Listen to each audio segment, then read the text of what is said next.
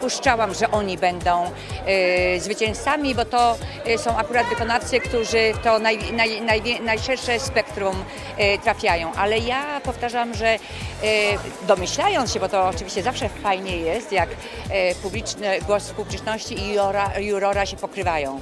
Ale tu akurat jest tak, tak że akurat Madzia jest e, wybitnym e, muzykiem, instrumentalistą, gra na gitarze, a ja mam zespół gitarowy i e, nigdy nie dość dobrych muzyków w naszym kraju. To się dopiero wszystko zaczyna naprawdę rozwijać i jest ich jeszcze wciąż i wciąż za mało.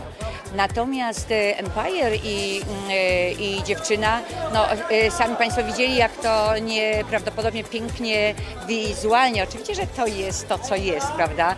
Wiadomo, że odbiorca to jest odbiorca globalny. Takie zespoły jak, jak oni, czy jak Eris is my hunger, to, e, to są zespoły, które jeżdżą po całym świecie i w każdym kraju mają jakichś swoich e, oddanych fanów.